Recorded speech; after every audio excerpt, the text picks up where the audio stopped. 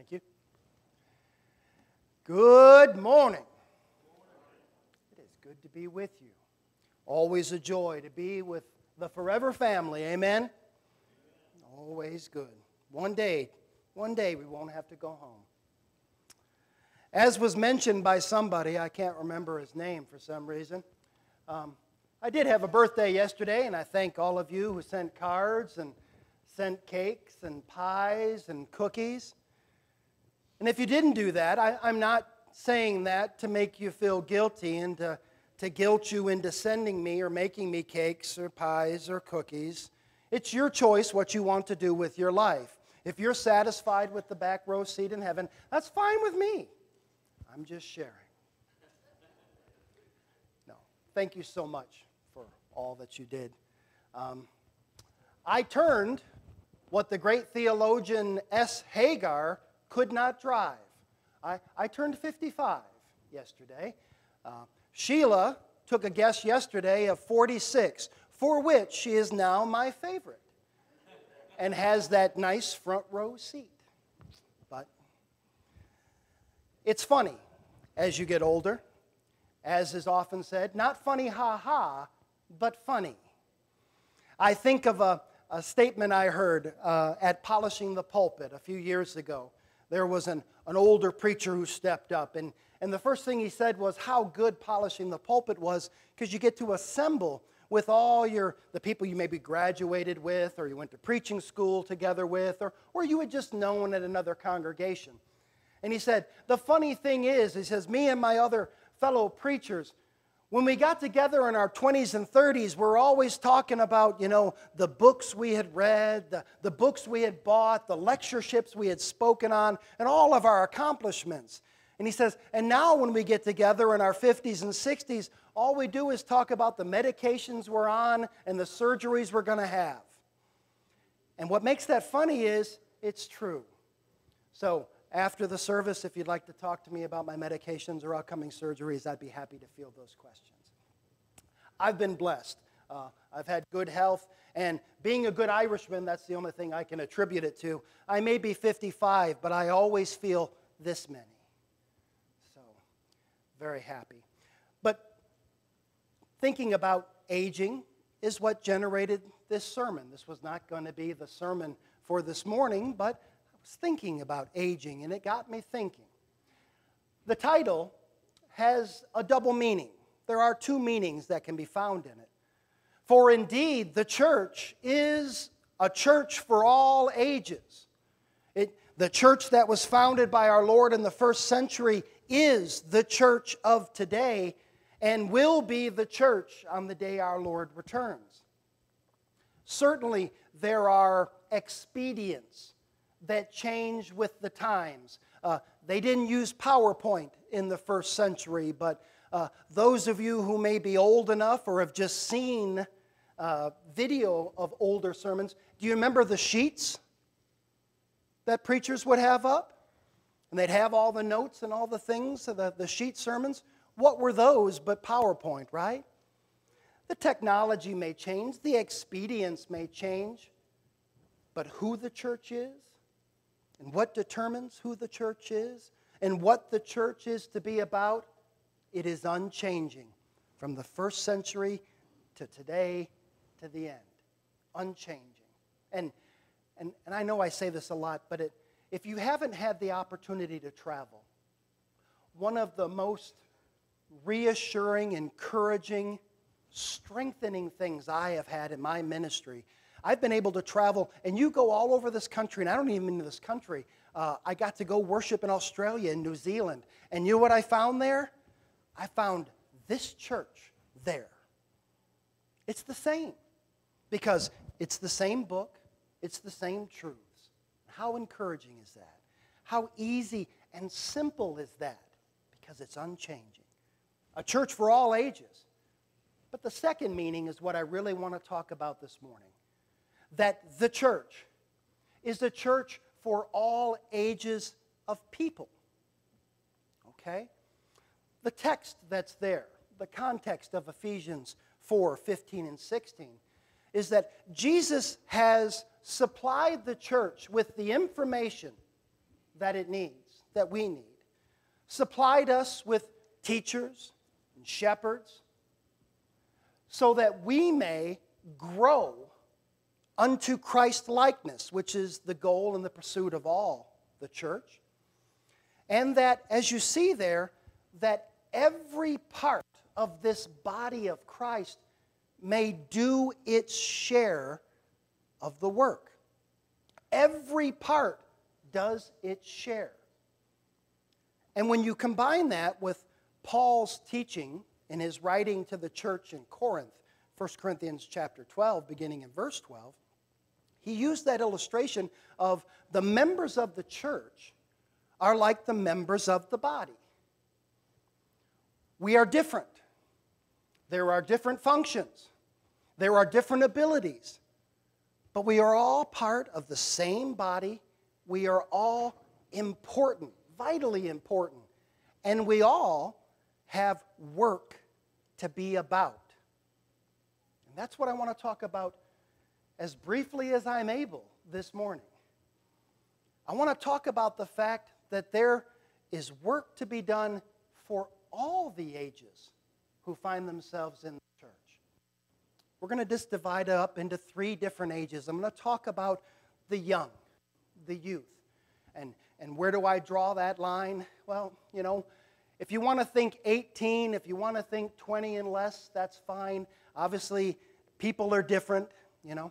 We tease Susie, who's, who left, convenient time to leave. Um, Susie's been 35 for the last six or seven years, and she's only 16. 17 next week, but. Um, Aaron often seems 25 to 30. He seems like that, right? You know, so there's a difference. But when I'm talking youth, I'm talking 18, 20. I'm talking about not adults, okay? And then we're going to talk about the middle.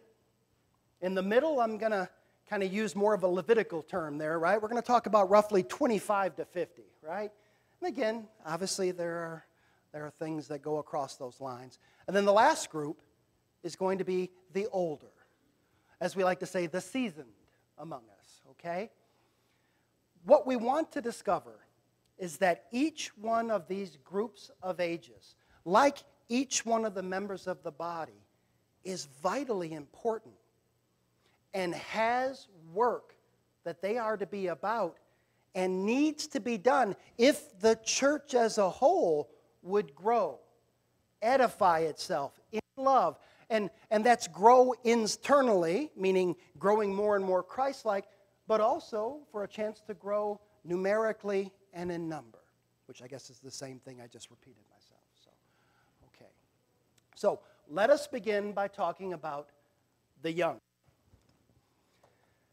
there are two unintentional mistakes that it would be wise for the Lord's church not to make. The first is this sometimes it is said, the children, and unfortunately, ironically, a lot of our youth are not here this morning. We are blessed here to have quite a few youth. The youth are the church of tomorrow. Have you ever heard that? I understand what's meant. The idea is the young people that we see in the pews today are, are going to be the preachers, elders, elders' wives, the, the ladies' group of the future. That's what's meant. Here's what can happen the way we speak influences the way we think just as the way we think influences the way we speak.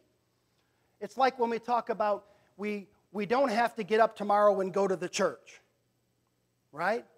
Because if you say that enough, do not be deceived, as the good book says, you can begin to think that this is the church.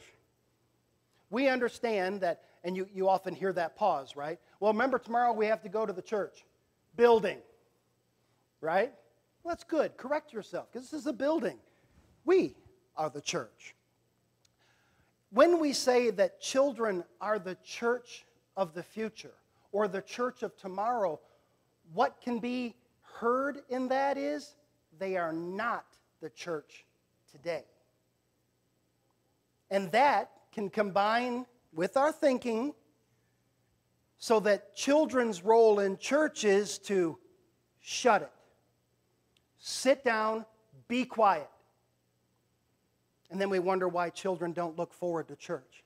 We're going to church tomorrow. Now sit down, be quiet, and don't make any noise. How fun is that? Now, are there times when children, not just children, when I'm up here speaking, I appreciate most of you being uh, at least a little bit quiet, except for when I ask for amen or you want to just give one, then that's fine. Um, but it can sound like children are just supposed to endure church. And that's why there are many groups, and even, I will say, this is my opinion, sadly, many even among the church have started removing children from aspects of worship. They have what's called children's church, where they take them away and do other things because they don't want them interfering. But again, then we wonder why the children don't feel a part of the church. Here's the second mistake we would be wise to avoid. Some churches are very cognizant of the valuable resource that children are. And we want to keep them busy and active because we know we're in competition with the world. And so we create a youth group. And sadly, what is often done is we hire a young minister instead of a youth minister. Do you hear the difference there? Because what is the job and purpose of those who are leading the youth but to edify them and to help them get wisdom? And as I have heard it said, please don't read too much into the cynicism maybe that's in it, but what wisdom does a 21, a 22, or a 23 year old have? Now, if you would have asked Rick that when he was 21, 22, 23, I would have told you all the wisdom I had. Do you understand the point? So we have this group. We take our youth and we, I've seen in churches where they sit in their own little section. They're all, all the youth are over here. The church is over here and the youth are over here. And the youth are always getting together with their young minister. And they're playing games and they're eating pizza and they're watching movies. Is there anything wrong with that? Of course, there's nothing wrong with that. But here's what happens I heard it called this at Polishing the Pulpit. You end up with the one eared Mickey Mouse. Picture that silhouette. Where you've got the church, and then there's the youth group. Dare I say, separate and apart. And then what happens? Well, they grow up and they never connect to the church because they say, we just never really felt a part of the church. Because they weren't, they were separate and apart. We don't want to do that with our youth and alienate them. What is God's pattern? It's the family. That's the unit. And what did he call his church? It's the family, and we're here together. We need to understand that so that our youth understand that not only are they a part, a vital part of the church, but there's work that they need to be about. What is that work? Well, one of the most important works for the youth is they are to be trained. Because, despite what children think, they are not born knowing very much. So we must instruct them right? Deuteronomy 6, the Bible's filled with those admonitions to take, what, take this word of God, parents, and, and put it inside you and then teach your children always, everywhere. The oft quoted Proverbs 22 and verse 6. If we train them up, you understand that when they get older, they'll continue more than likely in what they've been trained in. Ephesians 6 and 4. Fathers, be careful how you do that. You don't want to provoke them to wrath, but train them up in 613, we're going to talk about that. Oh, I never mind. Uh, I changed my PowerPoint. Um, turn, if you would, to Ephesians 6, verse 13. It was originally uh, there at the bottom. Children, can you hear me? You are at the age to be trained. Your parents, your greater family, grandparents, the church has oriented itself to train you and to teach you the things you need to know to go to heaven and to have that wonderful abundant life here. But look at Ephesians 6:13. I'm at Deuteronomy 6:13 which says radically different things. Ephesians 6:13 talks about taking up the whole armor of God. Therefore, take up the whole armor of God that you may be able to withstand in the evil day, and having done all to stand. Paul wrote that to Christians in Ephesus, young people. Understand it was written to you. You also need to take on that whole armor of God. We are dedicated to training you. You must be dedicated to being trained. You must seek it. In order to grow up to be a warrior of God, you must go through the training. And it can seem at times like work and trouble. And the re- well, the reason the first one is true, the second one isn't true, is it is work. Anything. Aaron plays baseball. A lot of practice involved in that, isn't it? A lot of practice. Why? So that you can get good at it. Well, guess what's going to have to happen with regards to Christianity? You're going to have to go through a lot of practice. Learning this book more and more. And, and we have engaged in a unified curriculum here at the church. And, and it's a difficult thing. A lot of meetings and a lot of talk and consideration went into it. And I never turned my clock on, so I've got another at least 30 minutes, people. Sorry. I'll watch that one. This unified curriculum is organized in this way it is designed so that we go through the whole Bible in four years, age appropriate. So the youngest among us go through us, Brian, kind of funny, um, go through the whole Bible at a very introductory level, just learning names and facts and know what Noah did and know what Moses did. And then after that first four years, then there's the next four years. We're going to go through the Bible again, but now they're going to go through it in a much deeper way. We're going to start making connections with other parts of the Bible and, and helping them to understand the depth of the message there. And then after that four years, there's another four years that we go through. And that's going to be making application in their lives and, and a lot of discussion back and forth. You see, it's taking this, putting it in, and reinforcing it over and over so that you may be trained. So our young people will know their Bible, the simple facts, but also the deep truths. Here's the two things that are necessary, though, for that to work. Three things.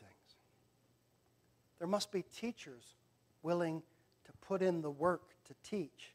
Two, there must be parents who understand that these things, these lessons build upon one another. So when you're missing half or two thirds or a third or of those lessons, the purpose is going to have big holes in it. And the last thing it requires is students who want to be taught, who understand the importance. And obviously, that's reinforced by parents, that's reinforced by the church as a whole teaching Bible should be like feeding a hungry person. Easy to do. Because someone who doesn't want to learn the Bible, what's that like? It's like trying to feed the baby broccoli. It's going to end up all over the floor and thrown at you, and not much nourishment's going to happen. Okay? Youth, you've got to seek to be trained. You are growing. Now, it can be fun. We're going to have fun. We're going to have events. We're going to, you guys just had the Olympics at my house, and, and we get together and do things that are enjoyable. We come together on the Saturdays, every other Saturday, or no, I guess, yeah, twice uh, a month, and, and we listen to a lesson, but then we go and play games. We can do both, but what matters, first and foremost, is God, your salvation, and being raised to understand and to know. Church, we need to understand that our young need to be trained, but they also need to be trained on how to serve and how to work. Okay? They're not just little dears to be set aside and, oh, and now we're going to have a, one of our children stand up and say a Bible verse. How fantastic. It is fantastic. But there's ever so much more to being a Christian. We need to teach these young people how to serve others. Because I don't know, you older Christians, have you noticed that that's much of what the Bible says? Our Lord said if you want to be a leader, what did He tell us we had to be? Servants. We might want to teach them that church isn't just all fun and games. It is fun, and we play games, but it's about service. It's about self denial to serve others. How do we do that? We do it and we take them along. Mentoring is so important. To take children along when you go to visit a shut in, to take them along when you go to deliver food to someone that's sick, or whatever you do, so that they see this is the work of the church. This is the word of the church, but there is a work so that they can see it and get their hands dirty. And dare I say, here's where all the kids start disliking me raking leaves and mowing lawns and cleaning windows and cleaning. That's all service that teaches them invaluable lessons of what it means to be a Christian. We need to be about it. And then that last note there don't forget Proverbs. I don't know why I turned that thing on. what do I mean by don't forget Proverbs? There are many who don't think Proverbs should be in the Bible because when you read them in general, they're not terribly religious. You know, it's a lot of financial stuff. It's a lot of, you should get off your behind and get to work if you plan on uh, living. There's a lot of very earthy lessons there. Why? Have you noticed where most of us are living? Very earthy, right? So, these young people that we're training up in the Lord, that they may know the Word of God, know about heaven, and be pursuing it, older folks, not just parents, but older folks, they also have other things they need to learn, like how to work on a car, like how to work in their house, like how to fix basic things, how to live. Now, mom and dad, I'm sure, are about that, they not necessarily have all the, the wisdom. So let's train up our youth so that they can not only go to heaven, but they can do well here as well. And here's where it gets difficult, young people. You might not want to learn that. I can remember a foolish young man who said he didn't need to know anything about mechanical stuff because he was going to be a doctor, and I can hire someone to do that. Skip to the end of that story. He's not a doctor and his car's broke down. Woulda, coulda, shoulda. Help them. And children, you ought to be pursuing that training. And there are times when it seems like our parents and even members of the church, they get a little hard and a little uh, aggressive, even punishing if we don't take the training seriously. You know why that is? It's because you're not doing your job and being trained. It takes a whole team to do this. We need to be about it. We need to understand how special these young people. They are to be trained as warriors, but they can still serve today in so many ways. The middle. The middle, like I said, I'll use the Levitical from Numbers 8, 25 to 50, we'll say. These are the folks who are toiling on, okay? Working in the secular world, raising their families. They are out in the world. They are the ones, the point of the spear, if you will, out there with evangelism because they have all that contact with the world. And it is hard work. It's why they have that strength and that youth and that vigor of youth, right? But they need help too. They're about training their children up. Brethren, we can help them, can't we? Because one of the hardest struggles for this group is staying focused in the Word. Because the world is demanding so much of their time and effort. But they have to keep in mind that God comes first. Matthew 23 and 23. Well, don't I have to take care of my family, Rick? Yes, you do. But you're supposed to major in majors and minor in minors. Yes, you're supposed to take care of your family, but the best way you take care of your family is by seeing them to heaven. As our Lord said in Matthew 16 and verse 26, what does it profit, parents, if your children gain the whole world but lose their immortal soul? Nothing. So you got to major in majors while you minor in minors. And it's difficult. And it is heartbreaking at times because you're trying to do good, you're trying to help your children, and all too often, they seem to be fighting against you. But not children anymore because now they've heard this lesson and now they're in it to win it and they're going to do anything you say. They're going to be, Yes, mom. Yes, dad. Anything I can do. I'm done with that. What can I do now? It's hard. We need to help this group. Children, you can help them, and older, we can help them. Those in this group, I want you to consider Galatians 2 and verse 20. It's a familiar verse. Paul said that he had been crucified with Christ. All we who have put on Christ in baptism have been crucified with Christ. And it is no longer we who live, but Christ lives in us as we parent, as we work, as we uh, support and supply. We do it as Christ in us. In the life that we live in the flesh, we live by faith in the Son of God who loved us and gave himself for us. To never lose sight. Again, it's a bit of riding Roman. We've got to take care of the things in the world, but God must be first and foremost. And good on you. It's hard work. The older.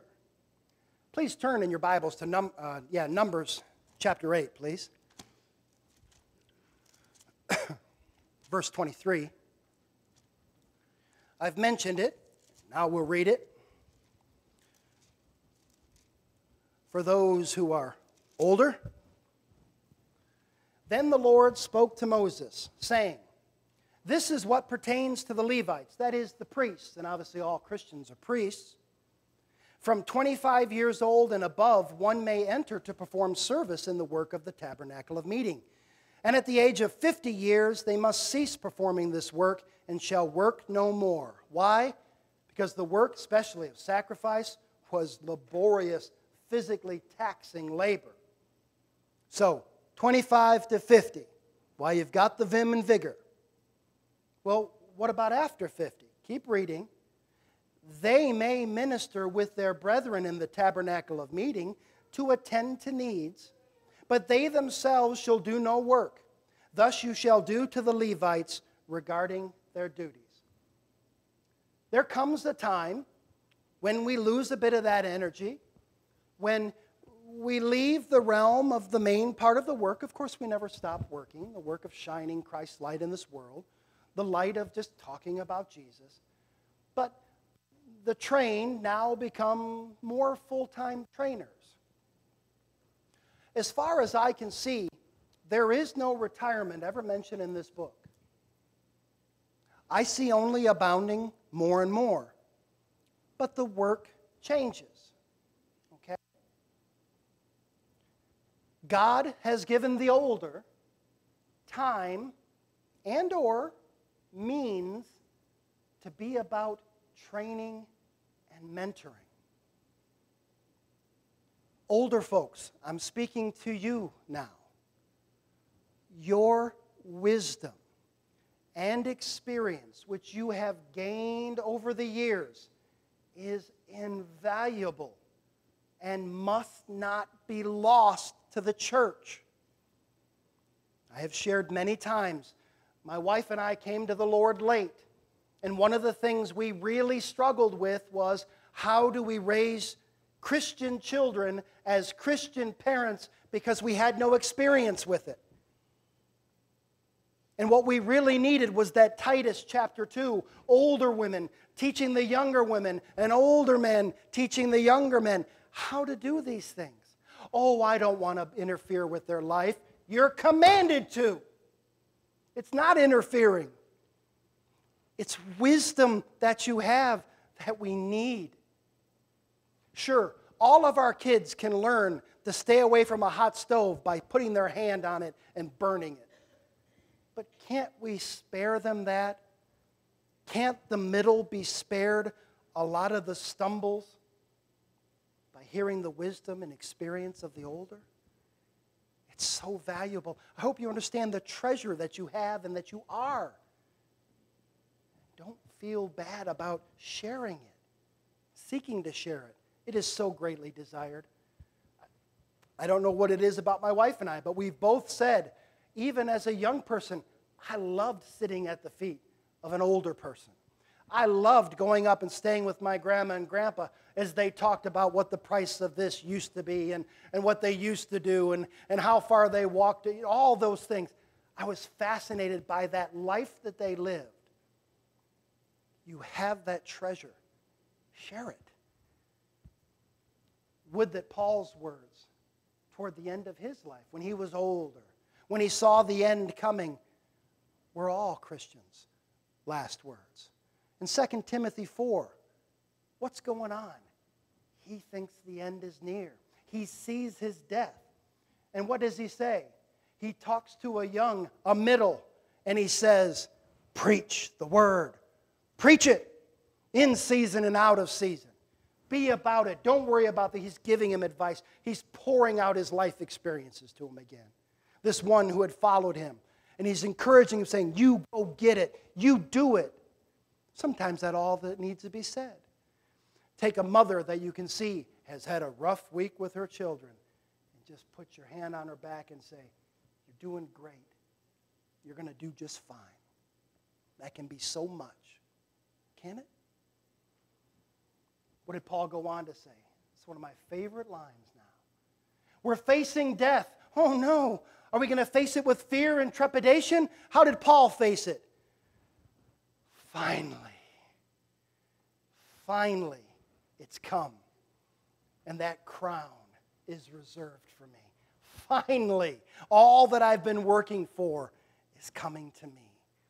Strengthening the middle and looking forward. And brethren, that encourages.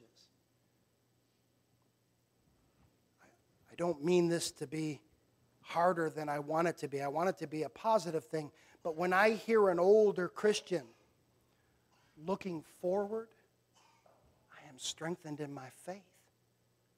If I see an older Christian terrified of what may come, I become confused. I don't understand. I thought it was joy and glory and relief. It's such a powerful instruction. You have so much to give. Finally, younger, middle, and older. Consider 1 Corinthians chapter 12 and verse 18. The apostle Paul wrote, "But now God has set the members, talking about the body, talking about the body. He has set all the members, each one of them in the body just as he pleased." Here we are, church. The younger, the middle, the older. Just as God is pleased, He's told us everything we need to know unto life and godliness. He's given us the commands and the charge. He's encouraged us. He has pleaded with us to be about His work. And here we are, young, middle, and older, fully equipped. What will we do? Will each do its part? that the body may grow and edify itself in love, oh, we can shine the light of Christ or not. As with our God and His love, the choice is always ours. I pray that you will strive to take hold of the role God has given you and to shine Christ's light wherever you be. If you're not a Christian this morning, God loves you so much. That He was pleased to send his son to suffer and die in your place you might be reconciled with him. If you've never taken up his offer of grace, why not this morning? Christians, so easy to get distracted. So easy to allow this world, which is a blessing, to become a curse eternally. Don't lose sight. If you have, turn back. And if there's anything we can do this morning, we'd ask that you come as together we stand and sing.